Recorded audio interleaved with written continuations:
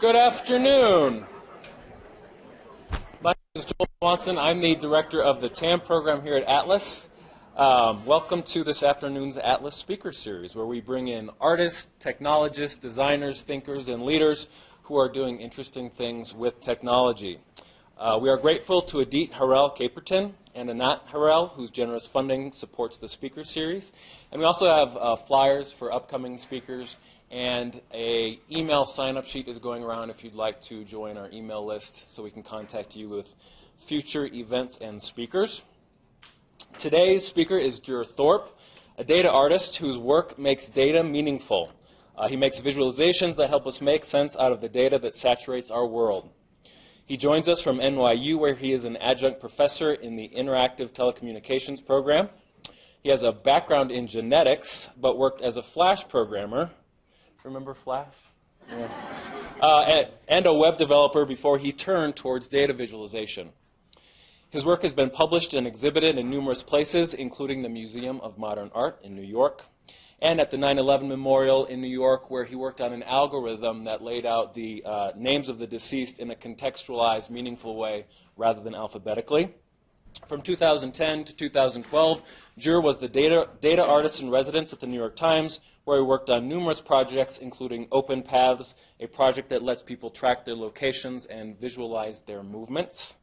And it is my privilege and pleasure to introduce Jer Thorp.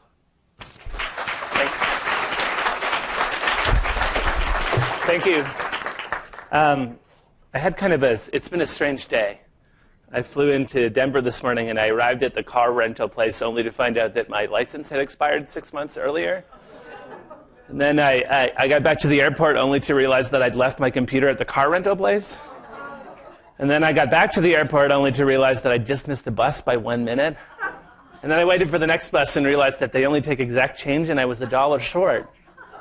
And out of the 18 people in the lineup, only one of them was willing to give me a dollar. So I want to dedicate this talk to the guy that gave me a dollar to get to Boulder. Um, I feel, I feel like I am in your debt somehow since I don't know, since I don't know his name. Um, this talk is, is not, we lured, I, think I lured you here in some way uh, to promising a talk about data visualization. This is not really a talk about data visualization. There's, there's data visualization in this talk. This is like a talk about data visualization the same way like E.T. was a movie about an alien. You know, there's an alien in the movie, but it's not a movie about an alien. It's a movie about humans and friendship and the Reagan era, era USA. And uh, so, so I want to use the work that I do as a framework to talk about something which is happening with our, with our society right now around data this new conversation that's happening around it, which I think in many ways is, is, is running off the rails in, in some, some wild directions. Uh, this is a story that appeared in the New York Times actually uh, in September, and it still bugs me. Uh, so this is the, the, the, headline of the story published on September 25th. An elite public school is the saddest spot in Manhattan, a study says. This is typical of the type of stories that we see generated from data so there's researchers somewhere, I don't know where this particular researcher was, who had done this project using Twitter data, and he had determined that the saddest location in New York City was this um, school called Hunter College. It's, it's, uh, um, it's a high school. So, so uh, imagine just for a second what it would have been like to be at Hunter College. And this story comes out in, in uh, the New York Times saying that you're the saddest place in New York City. Right? First of all, like imagine what that would be like with all your friends from other schools. But then, like, imagine what it would be like if you actually kind of were a sad kid at Hunter College. And, and, and, and um, this is the map that they produced. Hunter College is one of these pink spots. It's this, I think it's this one down at the bottom. Um, and what it turned out, however, uh, it took two weeks for a reporter to ask um, the researcher, hey, why is Hunter College the saddest place in New York City? And and when the researcher went back to their data, he, they realized they'd made a mistake. And uh, first of all, I, the location was geotagged wrong. So, so they had the tweets that were geotagged as if they were on Hunter College when exactly, actually it was like one person who lived in the neighborhood of Hunter College, but it, it wasn't actually Hunter College itself. The second thing is like, I think, I mean, the academics in the room are hopefully understanding that if, if a few tweets from some guy a few blocks away from Hunter College could pollute your findings this badly, then maybe you have to take a look at your methods. And, and I think the large amount of the blame, though, lies in the journalists for so avidly jumping on this story and deciding that um, they were going to write it, and it took them almost a month to write the correction, which I'm sure uh, was great for all the parents who had spent three weeks um, wondering whether they should move their kid out of Hunter College or not. Um, so, so in this case, we have, we have a, a, measurement of a system. We have Twitter, which is like the, a, a, a thing that these researchers were using to measure the sadness in New York City. And, and, this is what happens when we work with data, right? When we're working with data, we're never working with the thing. We're working with the measurement of a thing.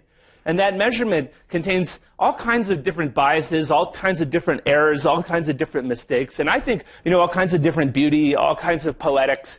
And, and, and I want to um, I want to sort of walk through I think how we got to this spot and then and then talk a little bit about how we can get out of it. So my favorite um, definition for for data is that data are measurements of something. Really simple definition, but actually carries a lot inside of it. Because we have this active measurement, this human active measurement, and then we have this real world system, which is the something. So, kind of encapsulated in this are almost all the things you need to know about working well with data. You have to understand that you know, these are measurements that were made by human in some fashion, and that they're not the thing, and that there's a real world system somewhere that these, um, that these data came from. But let's start in space, because I like space, and Boulder likes space, and um, uh, it's a good place to start. So, this is. Uh, so this is a, an amazing mustache, you have to agree, right? this is Johannes Kepler. He's uh, history's perhaps most famous astronomer. Um, and, and most of us, I think, know his name recently because of a project that NASA ran for a few years called the Kepler Project, Kepler Telescope, which was um, shining or, or, looking out into the stars, and it was looking for distant planets, which is pretty exciting science. I, I am a, I'm a kind of broad uh, science geek, and I, I, got really excited about, about this project, and I, I, I, read a lot about it and, and went and met some of the scientists that worked on it. So Kepler is looking at this region of space. Is it possible to get the house lights down in here? Um, just because it'll all look much prettier. Uh, so this is Cygnus Lyra. It's a, space, a region of space that's about the size of your outstretched hand against the night sky. It's a very dense area of stars, and Kepler is focused right on that region of stars. And what it's doing is it's sending back these gigantic photographs. And so these are huge, huge, high um, density, high resolution. Um, we can think of them as photographs. And if we zoom in, we see that indeed um, it's full of stars. And what what the scientists in the Kepler project are looking at is they're looking at each of those points of light as a, as a place that they can make measurements. And what they're looking for on those points of light is they're looking for the points of lights to dim a little bit when a planet comes between us and the star. So, you know, so far away, such a tiny planet coming in front of that star, and they're going to look for that dimming of that of that star, and that's going to tell them with some degree of confidence that that um, there's a planet out there. So NASA you know, has something that I don't have, which is the world's seventh largest supercomputer. This is called um, Pleiades. It's the computer that they use to crunch the um, big, huge fire hose of data that's coming down from from Kepler. And but the result of it is quite, you know, quite elegant. These these charts that show these dips in light that are periodic um, when the planet comes between us and that star so fascinating to me that we can do this, right? Put a telescope in space. First of all, that's a hard thing. You know, I, and then imagine like keeping that telescope so steady and, and, and, and having it so accurate that you could look at each individual star and get these really clean um, things out of it. And then having the science that's good enough to say, hey, I, I can say with a good enough degree of confidence that this is a planet. I know how big it is. I know how often it orbits its star. I know what its temperature is. I can find out something maybe about the composition of the planet as well. And, and I think this type of thing, so, so as an aside, um, this, is, this number hasn't hit its peak, but the, the Kepler project at the time when I put this slide together had found 3,411 of these, of these exoplanets. Um, so I built the visualization of this system when I was trying to understand it. This is every, pro- every um, planet that the Kepler project had found about a year before that, as if they were orbiting around a single star. So you can see most of them are very close to the star. Uh, the red ones are the hot ones, so they're very hot, not surprisingly. I'm going to sort them here by temperature so that you can see that kind of cone of, of, of heat that comes as they come near their star. Um, but we can see from this plot, that's, that's Earth way over there on the right-hand side. So almost all of these planets are, are much closer to their star than Earth. They're much bigger, and they're much hotter. And, and that's not a surprise to anybody who works on this kind of thing. But actually, when I read the paper the first time, I didn't really get this right away. And so by putting the data into this visualization, I got it right away. And it was a, a, a really fun exercise um, for me and, and, uh, and really helped me learn and understand the system a little bit better. So a couple of years ago, I uh, we get the volume down a little bit. Yeah, I can do it here.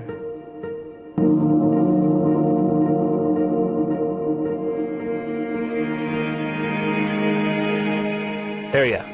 Uh, so a couple of years later, I worked uh, with a company in California called Oblong to build this, which is an interactive tool that allows us to explore the same system. I thought, you know, space is space data is a good data to do some futuristic things with it. And so Oblong is a company that was started by this guy named John Underkoffler. John is uh, was the motion designer for Minority Report. So I should say the conceptual designer for Minority Report. He was at MIT at the time, and they came to him and asked, "What would an interface of the future look like?" And so um, more than a decade later, we have this working version of the Minority Report interface that allows us to do some pretty interesting things with data that we would not normally be able to do. And, and, and for me, as somebody who works with data all the time, this was really exciting for a couple of reasons. First of all, the biggest problem we have as data visualizers is uh, with, on, with big data is something called overplotting. It means that there's too much stuff to fit on the screen. And when the screen gets bigger, we, we have a lot less problem with, with overplotting. And then what I like best about this um, project, it was an experiment to see whether I could uh, build something that engaged with data with no on-screen interface. So there's nothing on the on the screen except for the data. All of the interface is is is built into the body. So we can work with this data without drop-down menus, without all this these kind of um, things that that that have I think been built because of the limitations of our computing systems and not because of any requirement for them. I wanted to show this project first, though, because it provides us a really good model for what is happening with data. First of all, our ability to measure things is getting much, much, much, much, much more precise. We can make smaller measurements than we could ever make before. Second of all, our computation, our ability to compute on that data is getting much, much better. So um, this is a passage by uh, Neal Stephenson from a book called Cryptonomicon, which um, some of you may have read. And I'm not going to read it for you because it's small type and I don't want to read the whole thing. But it's a, a, a, a mind uh, experiment here that says imagine that we took everybody in the city of London and um, we put a, flat, light bulb on their head so that as they walked through the streets and went down onto a curb and up onto another curb and down onto the curb and down onto up on the other curb, we would get a line that would indicate nothing except for their kind of elevation change as they walk through the city. So a light bulb on the head, we can measure that um, elevation change. A really simple measurement, but the ability to do that kind of measurement is, is the first step in the process. Now we can imagine if instead of just one of those lines, we had hundreds and thousands of those lines. Let's imagine that we had all of the people in London, or at least a large enough subset of the people in London, wearing these light bulb hats and they were recording nothing, again, nothing but the, the elevation change as they moved through the city. So the premise of this um, Neal Stephenson uh, story, this particular piece of the story, is that if you had smart enough people and you gave them nothing but these lines, nothing but these lines, they could walk out of a closed room eventually with an accurate map of London, having never seen the city before. Now, the idea here, this is what we're doing. This is what the scientists in the Kepler project are doing. They're taking these measurements and they're putting them together to allow us to see things that, that we've never been able to see before. And, and I think that um, the quote that, that Neal Stephenson uses in, in, as part of this, it, it, gives us a really good way to think uh, about, about what, where we're going and, and, I think where the possibilities lie. He says that um, there's, I apologize for the gendering of the language here, but it, this is the quote. It says, But if he had depth and in, ingenuity, it would be a different matter. Depth and ingenuity, enough data and a cleverness to understand what to do with it. Um, So speaking of clever, this is uh, one of my favorite scientists, um, Laszlo Barabási. He's a network scientist who works at Northeastern University. And a few years back, um, we worked together on a project for Wired Magazine in the UK, looking at this is so similar to what we're talking about, looking at um, how we could take the trails of people's mobile phone devices and, and, and understand things about how humans travel. It's, it's a region of science called um, human mobility science. And, and so what we're seeing here actually is not at all mobility yet, but this is a chart that shows um, all of the people that we had access to in this data set and how many phone calls they made during the period. So this person over here makes the most. That person over there doesn't talk at all on their phone. Uh, this person, by the way, they talk 84 hours a week on their phone. I think we all know some of these people. I was on the bus with one of them this afternoon. Uh, this is a great graphic, but it, it, it um, for me, it's a great graphic, but for my editor, not so much. And so I want to talk a little bit as well uh, as I'm going along here about the practice of, of, building data visualization. So one of my central tenets in, in working with data visualizations is something that I call the OOH principle, which is that um, for a visualization to work, it needs to carry enough OOH that somebody who wouldn't normally be interested in it will be interested in it. And it has to carry enough ah that you're going to learn something that you didn't know before. And I think that a, lot of people, um, um, we, we, everybody makes mistakes in one direction because I see this thing, the fulcrum changes depending on, on where you're publishing. But I think we can always agree that every day, every data visualization should have at least a little bit of ooh, so that it doesn't just attract a really super limited audience, and it should have a little, a, at least a little bit of of ah. So um, I decided to take those graphs and do the ooh side with them. So I built these kind of stylized cell phone towers out of the data. These are the same plots you saw before, but with the whole data set now. And because this is in print, you can zoom in and see that they're actually made up of the, of the whole data set. So that's what the left-hand side of the page looked like. On the right-hand side of the page, uh, we did this, or I made this program which created these things which I called mobility maps. So what you're seeing here is the mobility map of one individual in the data set who travels back and forth and back and forth and back and forth in just a 2.1 kilometer um, radius. But everybody in that data set has their own mobility map. Everybody in this room has their own mobility map. And what we learned um, through our work was that it was relatively easy to, to given, given a pattern of, of mobility over time, to predict where that person was, was going to be in the future. And that was the um, kind of crux of the science that, that, we were, that we were trying to illustrate. And this is really exciting to me. Uh, it was exciting and then terrifying. Or maybe, I, you know, I don't know when they came, but it was like, because I would sit here with this data and I would know, I would know the data was anonymized, so I didn't know um, who these people were, but I had the latitude longitude plot. So there's this one person I remember, and they would go to the bar every Friday. I could see that they were every Friday after work, they would go somewhere. I assume it's the bar, maybe it's not.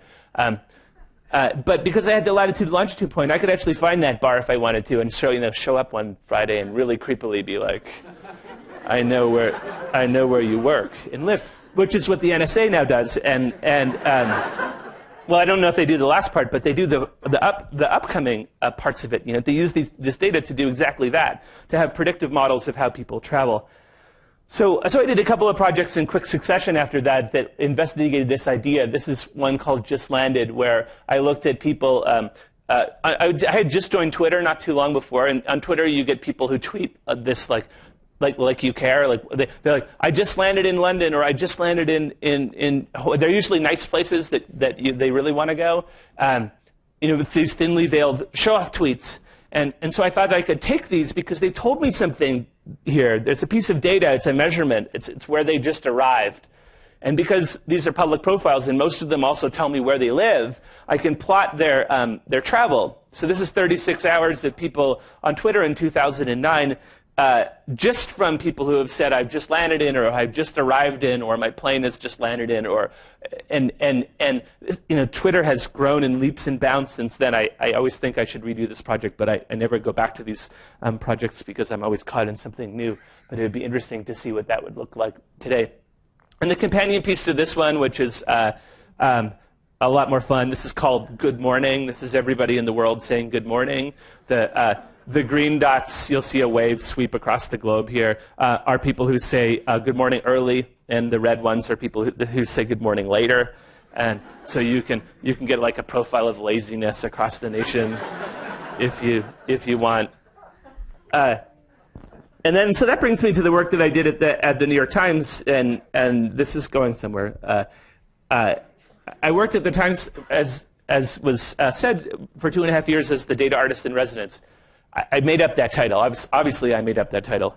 Um, I, but at the Times, they produce about 7,000 pieces of content every month. It's a lot of content. It's getting more and more and more as they add blogs and add different pieces of the, of the puzzle. And almost each one of those pieces of content gets talked about in social media. You know, it gets talked about in real in the real world too, but, too, but the place that we are most interested in was in social media. The question was like, how does how do does these these things get shared? How do these things get shared? Well, we know that they get shared from person to person, and that they get shared from like person to person to person to person. Uh, but what we never knew is is what the mechanics of those lines in between were. And so um, we built a tool uh, working with Mark Hansen at, at the Times. I built a tool called Cascade, which allows us to show this stuff over time. So this is a really simplified version of what Cascade does. It takes these things and puts them over, over time as, as visualization. So this would be a really lame conversation. Um, this is what a real conversation looks like. So this is a, a, cascade for a story called The Island Where People Forgot to Die. So this is the first tweet of the story. All the other pink dots you see are new tweets. All the yellow dots you see stacking up are people who have gone back to the website and read this story. So this is pretty interesting. We can see um, we can see a lot of, of like about the depth and breadth of, of, of how these specific stories are being shared. We can see the people that are in there.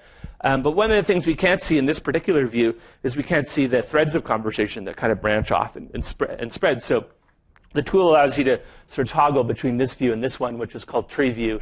And tree view gives you uh, this, this kind of architectural view of what a conversation looks like. And this is the, maybe the most exciting thing I've ever seen in my own work, who, seeing this for the first time. Because it opened up our ability to talk about conversations. When Mark and I started the project, our, our vocabulary around conversations was extremely limited. We could say, it was a big conversation or a small one or a short one and a long one, and that was basically it. But now we could say this is a branchy conversation or, or this is a sprawling conversation or a spiky one.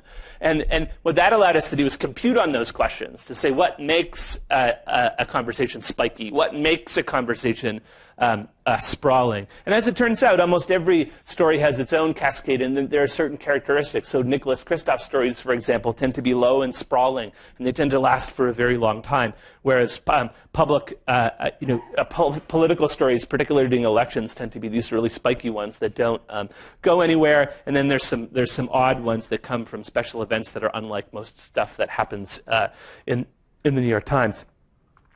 But the key here was like this idea that we could, um, we could ask questions that we'd never asked before because we had a new language. Uh, th- there's something about all the work that I've shown you so far that in the, in the last section that, that always bugged me and still bugs me, in that um, this work is opportunistic.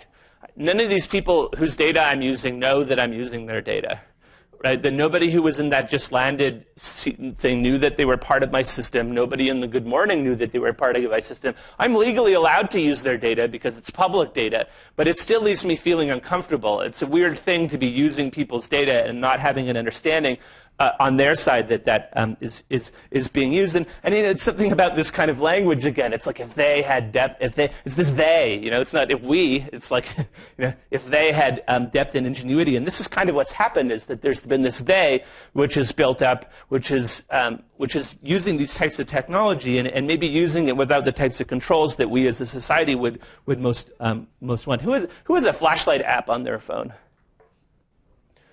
Do you, know what the number one purpose of a, of a flashlight app is? Somebody said ads. It's not quite. It's to collect your location.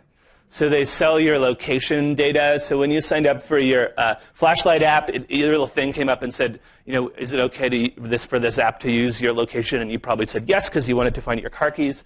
Um, but now this company, uh, they, they sell your location data to ad brokers who are going to add it to the profile of what they know about you.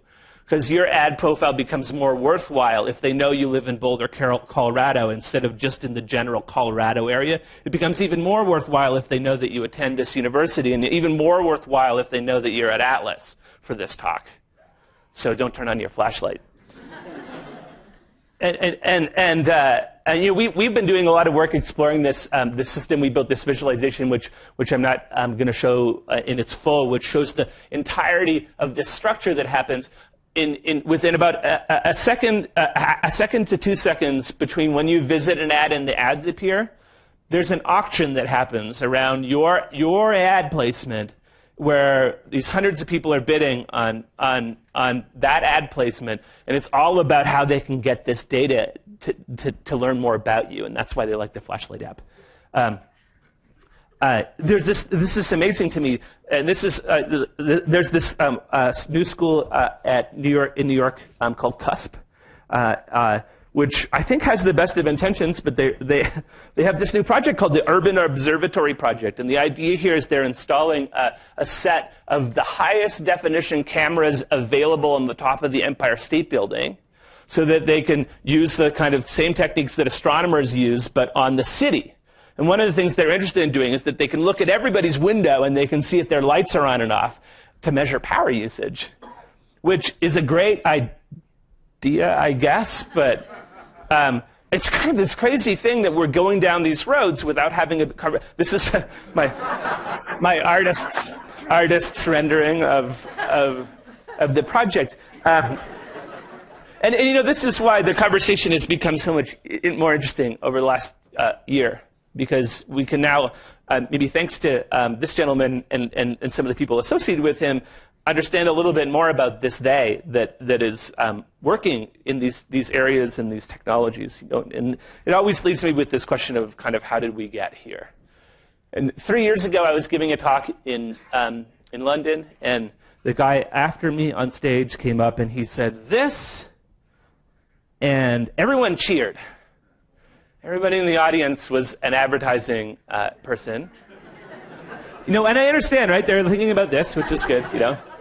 You know, but I'm also, you know, I'm also thinking about this, but in like the context of this, like how amazing it is it that we think this is a good idea to have another oil. Like one oil is good, right? We can, maybe we don't, maybe we don't need another, um, another oil. And the problem there is, I think, is a, is a lack of understanding about, about what data is. And it comes back to this idea of, of if we try to picture this as a resource, as something that we can sort of use in a, in a, business context, we're kind of missing the point. These are these are measurements of real world systems, and and and um, and there's human there's such humanity based in these that I think there's a, a, lot more interesting things that we can we can do. So I don't know if you remember this. It happened uh, four, three and a, three years ago. Um, these researchers found out that there was a file that was sitting on all of your iOS devices, which was storing your cumulative location data. So Apple was doing this because they wanted to make their GPS positioning better, and the way that they were doing that is to record the locations of every Wi-Fi signal in the world. So now they have a location of every Wi-Fi signal, so when you're here, they can read the Wi-Fi names and they can, they can know where you are a little bit better. And so while they were doing that, they were collecting these massive databases of, of location data that were being kept on your phone. So this has caused a huge privacy concern. I think, I think the reasons for that are obvious. Like, I mean, jealous spouse, you know, finds your phone, sees that you're not doing something jealous spouse doesn't like, they murder you horribly. Um, Apple gets sued. Apple doesn't like to get sued. So, I mean, I'm assuming they don't like to have their customers being murdered horribly either, but the suing part, I think, is more important. And, and so they closed this door quite quickly. But before they closed the door, myself and, and three people that I work with at the New York Times we, we were like, let's get this data because these people, the researchers, like Laszlo Barabási, who we, who talked about before, this is gold for them. Like, so let's get this data. And so we started this project, which was mentioned in the opening, called OpenPaths.cc. It's still a project. It's in a, in a different, I think, better form right now. And what OpenPaths allows you to do is it allows you to collect your location data. Like every other app on your phone is doing, OpenPaths can do it as well. The only difference is that you have, you're the owner of that data and you get to control how you get, use it. So the simplest way you can use it is you can go to our website, and on the website you can just see your location data. You can see it over time. You can see it in different in different um, forms. If you've never done this, it's so much fun. Just like install OpenPaths for three weeks and go back and watch that three weeks back. It sounds kind of dry, but it's actually really, you're always like, oh, I forgot I went there. Oh, that's the time I had dinner. It's like, it's really amazing. It's, it's really personal and, and interesting data. And for us, you know, this was an experiment in something which I believe in really strongly, which I call data ownership. the idea that we can put the data that is being produced by people in the hands of, of the of people, and, and sometimes we refer to this as first party access. You know, the conversation around data is about second parties um, and third parties and sometimes fourth parties, but rarely about the first party, which are the people that are producing the data. And this is where I get a little bit weird and arty, because I'm going to talk about uh, this idea of building a personal relationship with data. So Brian House, who was, who was the um, lead researcher on this project, built these uh, maps, which are maps of what he called his meaningful locations in New York City. So he, saw, he was able to see each meaningful location that he had and, and his pattern of, of movement between those meaningful locations. I did something much more abstract with my data. This is, um, this is uh, uh, I, I keep on forgetting to do this. So this is a clock, um, but, it, but the starting of the day is here. And, and then every, these lines that you see, these are cardinal direction lines. So the ones that are up are north, and the ones that you know that reads like a compass. So I, uh, I go that way to work in the morning, and then uh, and then that's lunchtime, and then I stay at work in the afternoon, and then I you know this is actually when I was starting in New York City, and I kind of went everywhere until like 9 p.m., and then I would come home and some some late night uh, movement here and, and, the reason for that I built this was I had, this, I, I still have this idea that people might print something like this on their wall, or maybe it's on a on a flat screen screen, and and before they went to bed, they would look at it, and they would say, um, "Good night, Data." it's it's ridiculous, but it's not. In another way, it's not ridiculous. We keep photo albums around our houses. We keep photographs pinned to our fridges. These are the same things that are just in a different form. And and um, I, I uh, these are th- these are three of my favorite location points. So there's one, there's another one, there's another one. Yeah, you're, laugh- you're laughing, right? And and and this is the reason why this works for the people, for the they, is because we don't care about this, and people can use the, this. So this is um, the, the, minute I walked off of the plane at, at LaGuardia Airport. I lived for, in Vancouver for 27 years. Uh, maybe the most pivotally, pivotally changing moment of my life. Later that afternoon, in the evening, I had this Thai noodle dish on Amsterdam Avenue with this glass of Riesling and this spicy Thai noodle dish. I never would have remembered until I was digging through my location data. And then uh, almost three years ago, uh, I met my girlfriend. We'd been together. She walked down the hallway of my apartment building. That's it right there. And I have this idea that, that maybe I, someday I will sit my grandchild on my lap and I'll be like,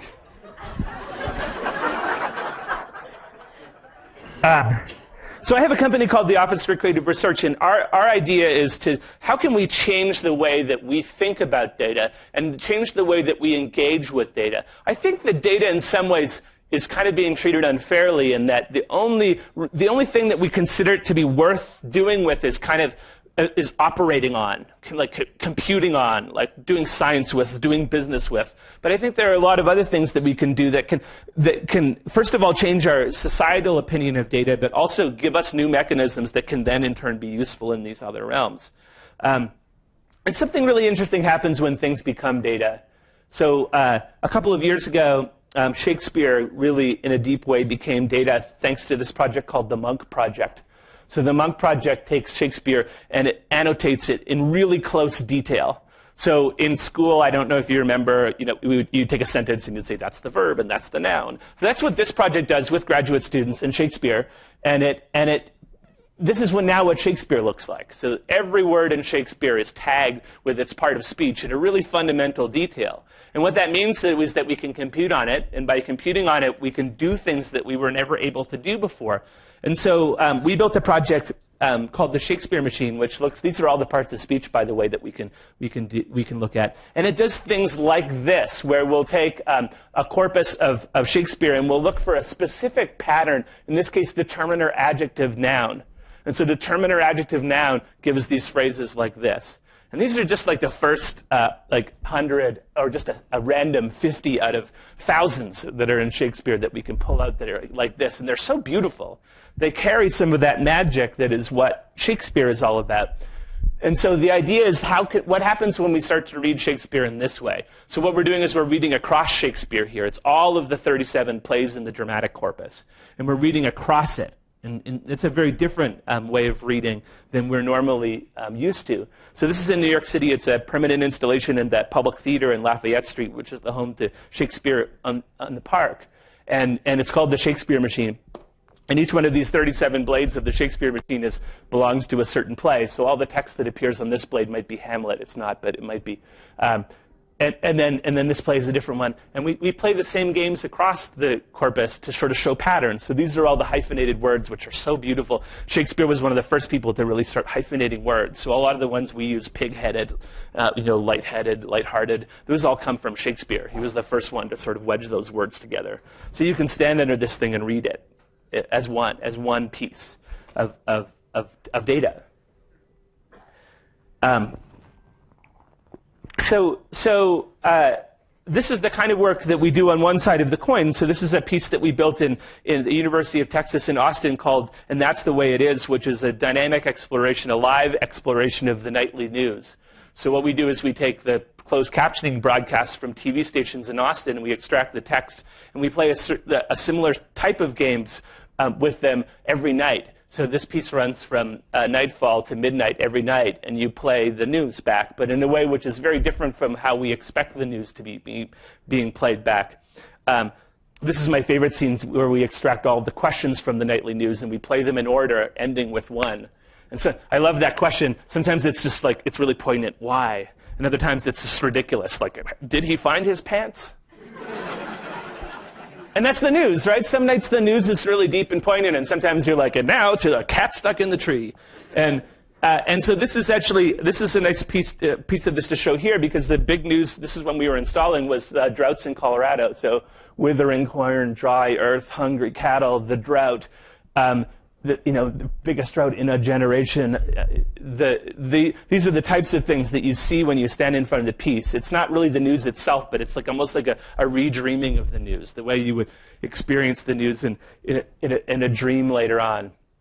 So if you're ever in Texas, um, go, and, go and see it. This is a better look at what it looks like. It's 140 feet wide and five stories tall. Uh, I, I, only have about 10, 10 five, five, to 10 more minutes, so I'm going to I'm gonna, um, just go through a couple more projects and then I'll wrap things up in, in a way that I, think, that I think makes sense.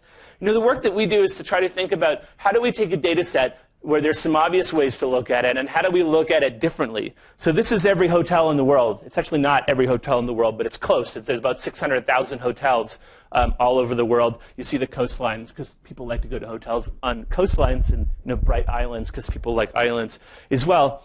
Um, this is the type of thing that we typically do with the data, but it doesn't tell us anything about a hotel. Like I stay, I mean, I stay in a hotel right now. I stay in a lot of hotels. Hotels are these really weird human experiences.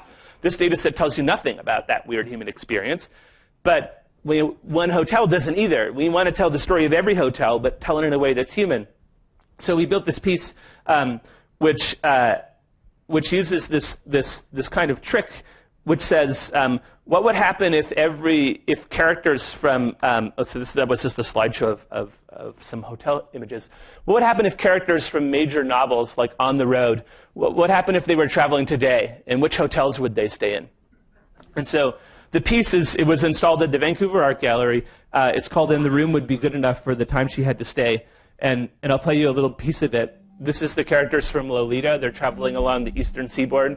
They're going to stop at one of these towns, and then they're going to use Expedia, to, which they would, to find um, to find a hotel to stay in, uh, which you'll see in a second um, come up. The kind of awesome hotels that are available at their budget in that place at that time, and and all, all of the other little little crosses that you see moving around the map are other characters and other stories. Some of them are, are contemporary stories. Some of them are totally not. Like Odysseus is in there as well uh, as well as the characters from Lolita and, and On the Road and, and, and so on and so on. And so our attempt here, and, and I am not sure it's entirely successful, but is to try to think about how can we tell data through stories that, that accept the fact that, da- that these data sets are very large, but also get down to the, the sort of human story that's within them. Um, so the last project I'll show you is the most, the most unusual and maybe the most surprising for you who came to this talk today. Uh, we, are doing a, a, an artist in residency at the Museum of Modern Art in Manhattan, and what we've been working with is we've been working with the um, exhibition uh, collection, or the collection. So there are 120,000 pieces in the collection at the Museum of Modern Art. And we did a performance last month, um, which was using only the, the titles of those pieces. So this is a, a, a, script that the performers used from the first part of it. These are, these are everything you read here is like every line is a full title of a piece.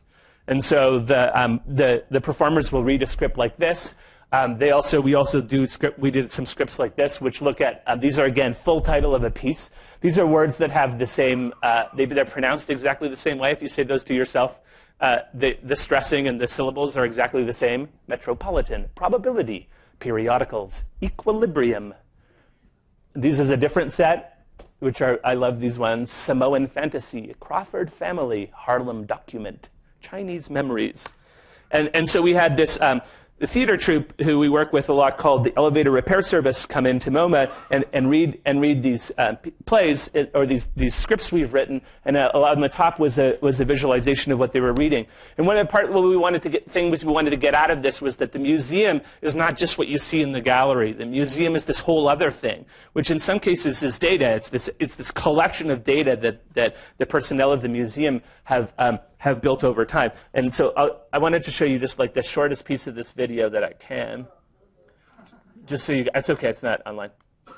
So you get an idea. Girl.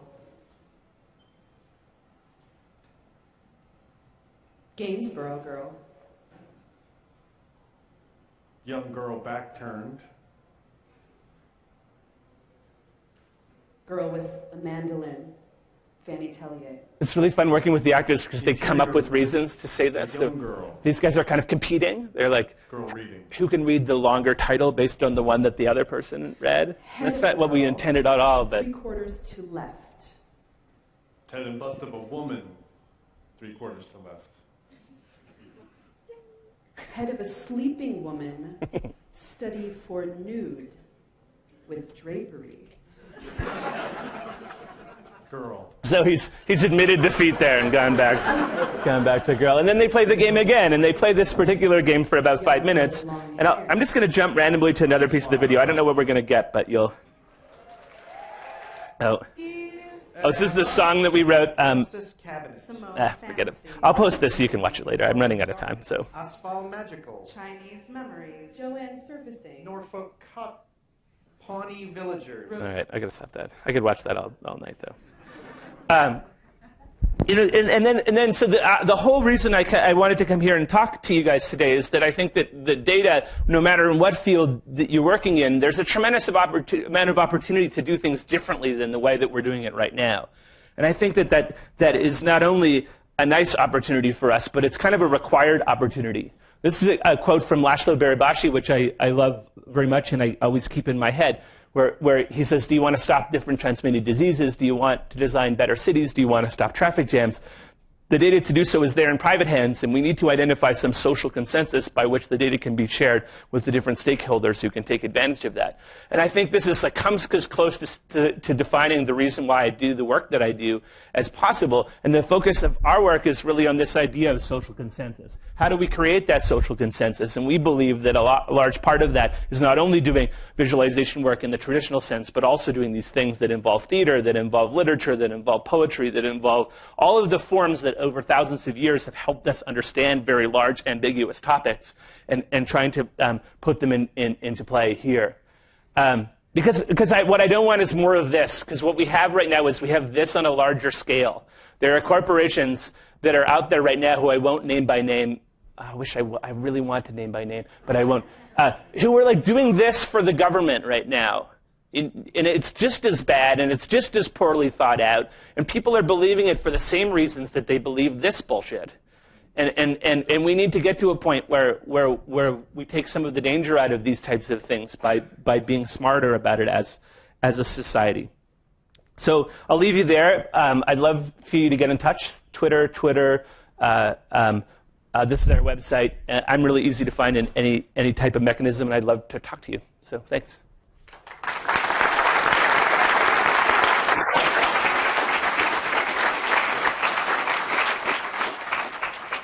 Yeah, I'll take, I'll take questions for a few minutes. I'm sure people have to leave, so if, I, yeah. I have a question for you about ethics. So, yeah. i mean, as a scientist, i'm always trying to present my data in a way that's compelling, right? That, focuses on some point that I want to make. Yeah. About the limitations of the data yeah. and of the point that I'm yeah.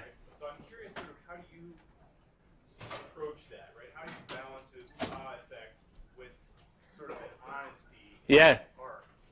Yeah, some, I, I heard a really good quote, which was, which were like from anybody.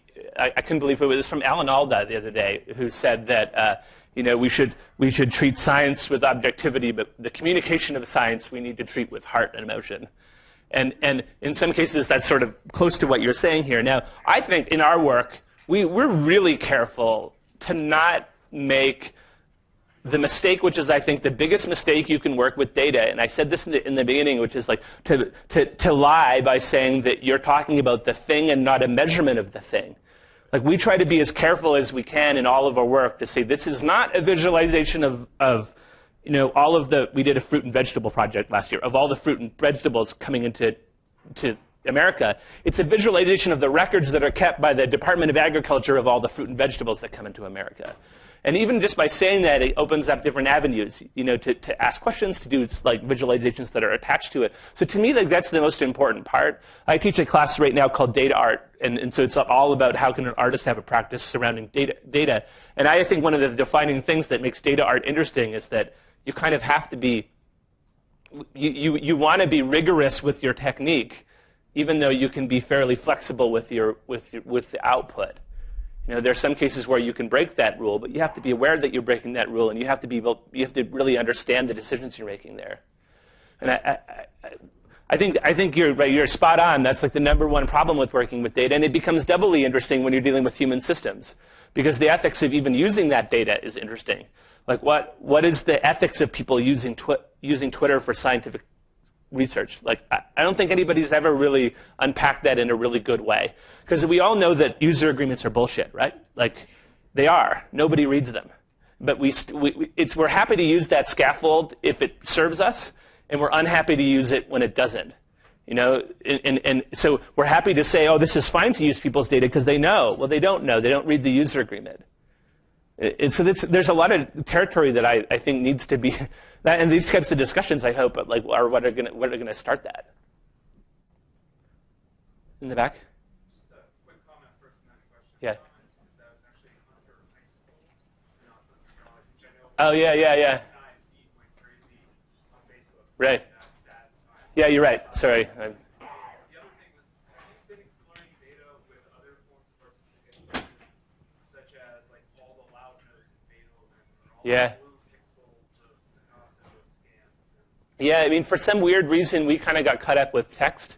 So I work with two other artists, Ben Rubin and Mark Hansen, and, and they, they've been working for about a decade with text. So people come to us with, with text, but we, we, we're really interested in all kinds of other, uh, of other data sets. We've, we've done a fair amount of work with images, both video and still image, but we haven't done a lot of work with sound as data. But you know, we're really open to everything. It's just like we, we're a small studio. There's only so much work we can do, and the, the, the stuff that tends to come to us is like, we saw your Shakespeare project. Can you do this? We saw your, you know, whatever that other project is.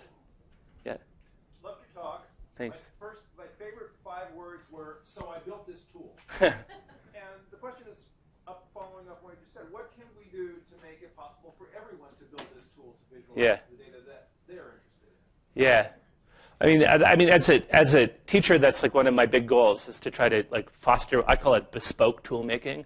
Like we- we're we're focused. Software somehow became really it became big. Like in we went from like uh, I'm a huge fan of HyperCard, which HyperCard is like my favorite thing in the in the known universe, which is this like tool that was built on the original Macintosh that people would use to author their own small software. So you could make your like a tool to balance your taxes, or to or to like document your kid's basketball team, or to like compile your research about bed bugs, or whatever you wanted to do. And then and that kind of went away as software became commercialized for the first time. But we haven't ever come back to that in a really. I think we're coming back to it with like an, with the open source movement. So I use an open source um, framework called um, Processing, which is a Java um, based toolkit that we use for everything, and that's also part of the thinking behind processing. And I think that that's one thing that you know, in, in, in almost every academic discipline, I, I, I could make the strong argument that we should be making tool makers out of researchers so that people can make their own tools. Because sometimes the tools we make, we make some that are quite big. We make some that are tiny, like really tiny. Like eh, 20 lines of code to process something that, that we just can't do with any other tool. And that's the problem is I think you know, with anything big that's a broad, broad purpose tool, you're always going to hit a wall where you can't do the exact thing you want to do, and then you fall, you fall out of it. But it's a hard, it's a hard, it's a hard problem because you do want general purpose tools. They're, you know, I love, I, you know, hey, I like Excel. I like like, if I need to see data right away, like, hey, I'll graph it in Excel. I'm not ashamed to admit it. But at the same time, like Excel can only do like eight different things in visualization, whereas with a little bit of with a little bit of programming knowledge, not too much, you can you can get into into that. But yeah, I mean that's tools are one of my obsessions. Yeah. So that was part of my question, but that's I'll follow it up with. So how, how do you feel as a, when you see somebody copying a visualization that you've done? You, Yeah. It doesn't happen to me very much, but um, I, I have no problem with it at all, really. I have absolutely. The only time that I've ever had a problem with it is, is when companies, this, will ha- this has happened to me more than, no, it, people like just working on their own projects, their personal projects, have done things that are really close to what I've done, and I have no problem with that whatsoever. But when I have a problem with it is like agencies will come to me and say, we want to use your work in this campaign, and I'll say no because I don't want, agree with what they do and what they're working on. And then they'll just go to somebody else and say, can you make something that looks like this? And then they'll use it in the work. And that's pervasive through the design community, and it's more pervasive with the small community that, that I'm kind of a peripheral part of, of this kind of software-based art, where a lot of the times they're not interested in engaging with advertisers, but the advertisers have the money and they have the clients go ahead, and so they'll do it anyways. Which is, I have it, it's, it's kind of hard to, and I'll answer the question in one different way really quickly is like, so I, everything that I release, I release open source and with, with like a really open, open source license. You know, and part of the purpose of the, you know, the open source philosophy was never in the beginning anti-commercial. You know, I have no problem with people like taking the, the stuff that I release open source and making a, a project from it that makes them money and not sharing it with me. It's kind of part of the deal. But uh, the only part that I, ha- that I don't like about it is when it's kind of nefarious, when you know, they don't tell you or they lie to you, and then project comes out. Hi. What is it that you have like a problem with agencies using your stuff? Like, what is the ethics that you don't like? Like, what are they trying to do? Yeah. Uh, I mean, I don't think that that, and this is I'm Canadian. I'll preface that by the, this. Like, I don't think people need to buy a whole lot more shit. So if the company is like largely in the business of convincing people to buy stuff, I'm not really interested in contributing to that, I don't I have like you know I'm not going to firebomb their offices, but I also don't want to contribute to it. So we don't do any work for for um, corporations that that that are like that's their sole purpose. You know, we do we do work for, for companies though, like that, that do sell stuff, but we usually do work on, you know, on on on a we do a lot of R and D work, which which is like a lot of these companies come to us saying we're we're interested in, in, in how we could do better job dealing with our data ethically, or how we could you know use new tools to gain insights from data. Like we're working with Microsoft, Microsoft, but we're working with their cybercrime center to try to understand how these these things, these botnets, are impacting human systems. Which is like, so you know, it's never clean cut. I can't say like I'm never going to work with anybody who sells things, but on the other hand, like we don't we, we turn down like most of the work that comes our way. So, yeah. Are there data ethics police out there? Who's, who's going to watch all of this? Yeah, not at all. That's part of the problem. Policy doesn't really exist for this. So, you know, one of my favorite thinkers around this is a, is a researcher at Microsoft Researcher. Research, her name is Kate Crawford, and she does a lot of writing and thinking around the ethics of big data. So, if you're interested in this topic, that's a really good place. And actually, her partner is a, is a lawyer who's, who, who um, his name is Jason Schultz, who works on uh, kind of high level policy around intellectual prof- property. And they've been starting to come up with some possible frameworks of what policy would look like around these things. It's very hard to understand right now, and, but it's kind of exciting because it's a really nascent thing. Like we don't really know where, where it's going to go, but it, it's also terrifying because I think we're moving so fast that, and, and a lot of these companies, you know, that, that I veil- veiledly talked about, they have huge lobbies in the government. So we, there's that problem as well, which is that if and when laws get passed around these things, there's going to be a huge drive by the people whose interest it is to keep, to keep the rules how they are, to keep the rules how they are. It's interesting. Can you say her name again? Kate Crawford. Yeah. Uh, what are we looking at right now? Oh yeah. Uh, this is uh, uh, uh, nothing. so, so we built this tool. I showed it to you earlier. That was like a visualization of the ad network, and, and I had this idea of how to visualize it, and I had to have a phone call with somebody, and so I just I wrote this quickly to sort of show them what it might look like. So it's nothing right now. It's a good ending slide though, because people are like, "Ooh, they're transfixed." yeah, yeah. There is, I mean, there's just yeah. We, we get into pedantics here. There is data in there, but it's not like real data of any kind. Uh, I mean, I'll take two more questions. I, am starting to lose my um, ability to speak. I'll go here and then there. Yeah. So have you ever abandoned a project because you started to feel like, okay, this is no longer about humanizing data, mm-hmm. and it's not gonna, it's gonna look pretty, but it is yeah. gonna be meaningful. Yeah, I mean, meaningful is a weird word. I mean, I think like a lot of the work that I've done in the past and continue to do maybe doesn't pass like a really high level of meaningful. Sometimes we just do stuff for fun in the studio, and I think that's fine as long as it's not like destructive. I don't. That's the question that we normally ask. And, but, and then we, we abandon projects left, right, and center for all kinds of reasons, mostly because they're terrible. Like I, sh- I get to show you like all the good stuff that came up, but there's like a mountain of shit that I built that, that like I would never show you because I'm embarrassed to do so. But you know, that's that's the reality of it. Last question, yeah. Where do you get your data? Well, I mean, so when I started doing this work four years ago, five years ago, that was like a real question. It was hard to find data. Now, like, it's like, A, it's everywhere, and B, people are coming to us. Like, most of the time, people come to us and say, it's funny because this is like the thing I get most often, like after a lecture. Somebody be like, I have this great data set. And about four to five times, I'm like, uh, it's not that great. But, but the fifth time, you know, you're like, oh my God, it's amazing and and so you know we're excited about we're excited about that stuff. There's so much open data right now. Like the, one thing they did that went off with like nobody talked about it. So the first work that I ever did with data was with the New York Times API, which is um, an interface that allows you to connect your own software to their database. Um, and and when they released it, it was from 1981 to 2011, 10, 2010. I guess, yeah, well 2009. Um, now it goes the whole way back. So it's like 1870s all the way up.